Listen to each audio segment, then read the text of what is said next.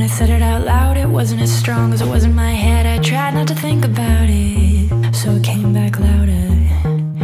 I think it's been about a year since I became a snob. Decided not to play along, so it grew bigger. Me and my head have become very, very, very close. We decided not to tell you, to tell you about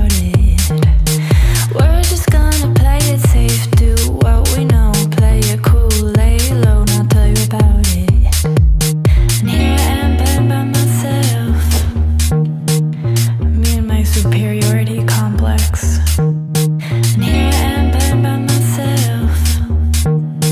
Me and my inferiority contest.